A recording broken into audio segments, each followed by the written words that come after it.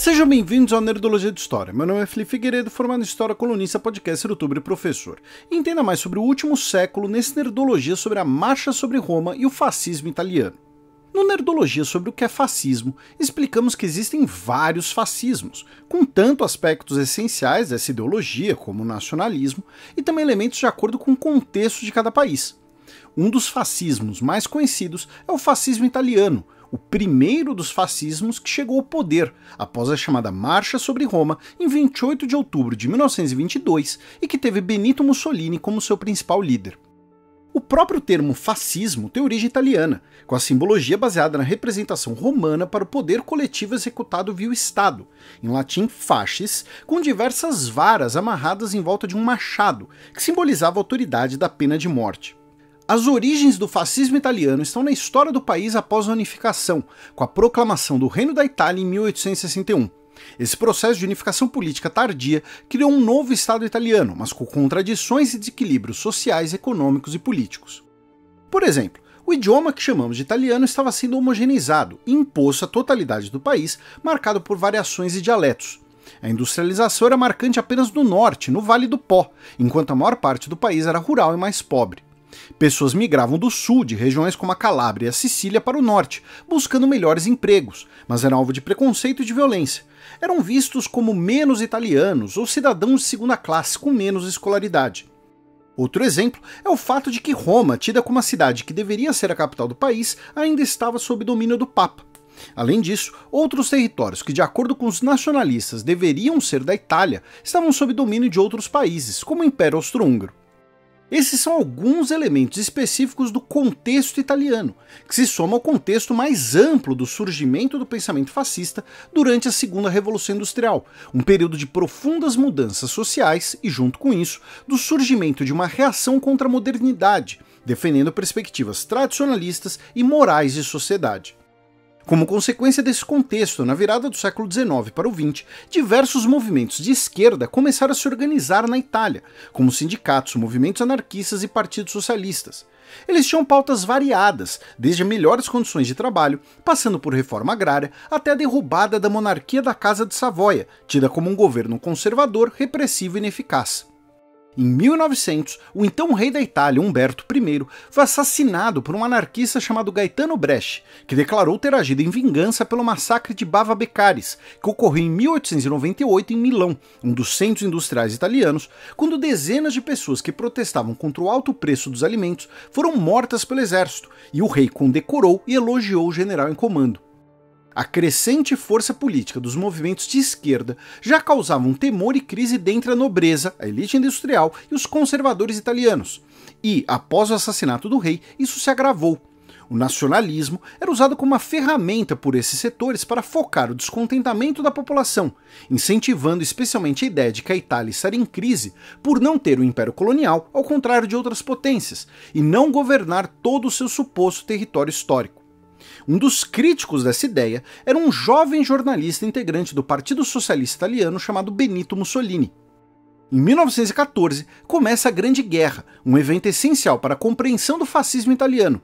A Itália, embora parte da Tríplice Aliança antes da guerra, entrou no conflito apenas em 1915, do lado da Tríplice Entente, com a promessa feita pelo Reino Unido e pela França de que o país receberia, após a vitória, territórios europeus do Império Austro-Húngaro e territórios africanos da Alemanha. Um dos defensores da entrada italiana na guerra foi o mesmo Benito Mussolini, que foi expulso do Partido Socialista por isso. Ele começou a defender publicamente posições que se tornaram algumas das bases do fascismo italiano, que o nacionalismo deveria ser a base da sociedade e que a nação italiana representava ideais e valores superiores, apropriando-se de um passado romantizado sobre o Império Romano de que ideias como igualdade e que movimentos sindicais violariam uma suposta ordem natural, em que algumas pessoas seriam naturalmente superiores às outras, e que a luta de classe socialista deveria ser suprimida pelo nacionalismo, com todos os italianos unidos pela cooperação de classes para protagonizar uma luta nacional com outros povos. Mussolini foi um dos quase 5 milhões de italianos que serviu durante a Grande Guerra, Cerca de um milhão de italianos morreram no conflito, algo como 3% da população do país. E a Itália não recebeu todos os territórios prometidos, no que foi chamado de vitória mutilada, exacerbando e muito o nacionalismo. Como agravante, a Itália continuava em crise econômica e social, mesmo sendo uma das potências vencedoras da guerra. Na verdade, a crise se agravou, com dívidas de guerra, veteranos feridos e famílias desamparadas. Agora, com uma multidão de homens afetados mentalmente pela guerra, adeptos de causas nacionalistas e armados. Em torno deles que, em 1919, Mussolini criou em Milão os Fasci de Combate, uma série de milícias armadas voltadas para reprimir greves e outros movimentos sindicais, apelidados de camisas negras. Além disso, ocorria a Guerra Civil na Rússia, consequência das revoluções de 1917, e a possibilidade de um governo socialista fez a direita nacionalista ficar mais extrema, com medo do chamado perigo vermelho, motivando maior alinhamento entre as elites econômicas e a aristocracia e os grupos fascistas. Esses grupos cresceram e, em 1921, foram reorganizados no Partido Nacional Fascista, que propunha o irredentismo territorial por uma Itália como potência a busca por colônias que serviriam de espaço vital para o povo italiano. Um Estado corporativista para conciliação de classes, abolindo os sindicatos.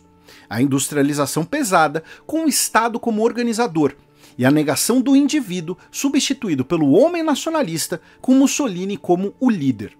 Nas eleições de 1921, em um bloco com conservadores e nacionalistas, Mussolini foi eleito para o parlamento, no ano seguinte, os fascistas já eram muito influentes na política em cidades do norte e sua violência contra os sindicatos era tolerada pelo governo e pela monarquia, reprimindo violentamente a greve nacional antifascista de agosto de 1922. Com isso, a Confederação Geral de Industriais Italianos oficialmente concedeu apoio a Mussolini, que, em 24 de outubro, declarou diante de um comício fascista em Nápoles: Nosso programa é simples, queremos governar a Itália. Com isso, foi realizada a Marcha sobre Roma, que reuniu cerca de 30 mil camisas negras armados, marchando rumo à capital de pontos diferentes do país. O primeiro-ministro Luigi Facta desejava impor um estado de sítio e ordenar o exército para reprimir os fascistas, mas o rei não autorizou, além de comandantes militares tomarem o lado dos fascistas. O rei Vítor Emanuel III simplesmente nomeou Benito Mussolini como primeiro-ministro da Itália no dia 29 de outubro. Mussolini foi o ditador da Itália por mais de 20 anos, e seu governo foi marcado pela tentativa de manter uma aura de legalidade, usando as leis contra as próprias instituições do país que foram aparelhadas pelos fascistas. Algumas das primeiras medidas do novo governo foram o banimento de partidos políticos e de movimentos trabalhistas, a proibição de greves, a formalização das milícias fascistas, a melhoria de relações com a Igreja Católica e a renovação da aliança com os grandes industriais italianos. Esse Nerdologia terá uma sequência sobre os fascistas no poder na Itália. Lembro que esse vídeo é um recorte, e claro que muita coisa interessante ficou de fora, e fontes sugestões estão aqui na descrição. Nos comentários do Nerdologia sobre Fernão de Magalhães e a viagem ao redor do mundo, perguntaram como levavam suprimentos para dois anos de viagem. Normalmente, um ou dois navios da expedição era apenas para suprimentos, incluindo água potável e alimentos em conserva, especialmente salgados. Também eram levados animais vivos, para abate ou ovos. Também pediram por um vídeo sobre expedições na Antártida, e lembro que já temos um Nerdologia de História com essa temática. Não se esqueçam de curtir e compartilhar o vídeo. Assinem nosso canal para conhecer mais sobre o século XX e até a próxima!